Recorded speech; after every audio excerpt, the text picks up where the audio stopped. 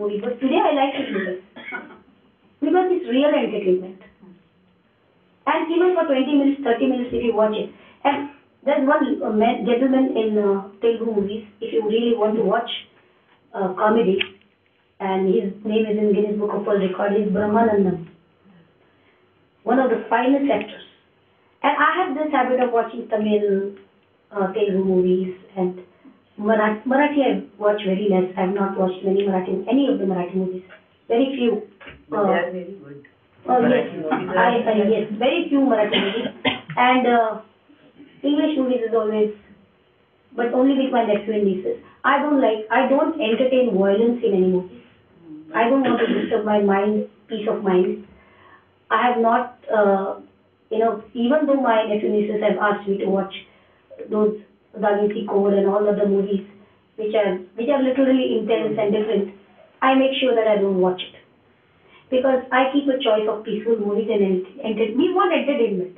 We don't want so emotional pressures. Because as it is, we are handling all pressures. So how can we relax? Music is the best thing. I am a professional Bharatanatyam dancer, so dance is one of the finest uh, uh, thing for me.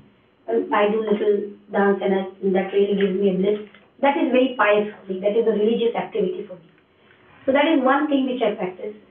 I write beautiful poems, Hindi, Urdu, and uh, I read it to my sisters and my brothers. I'm going to publish it now.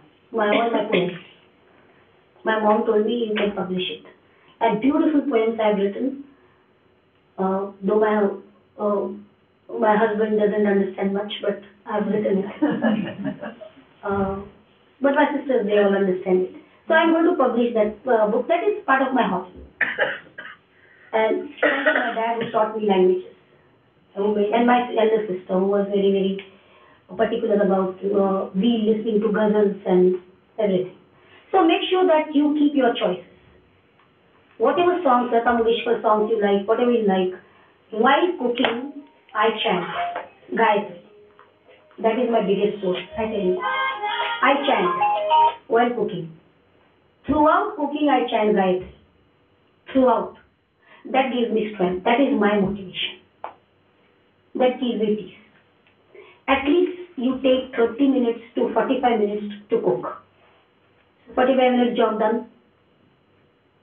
So my day is done with that wonderful chanting. Now your home is secured, your area is secured, your country is secured, every universe is secured. That is how we know it, know about it. So am I living the life to please myself or others? Or am I living the life to stand in my own eyes? Is a question we need to ask every day to ourselves. And that will keep us on the track.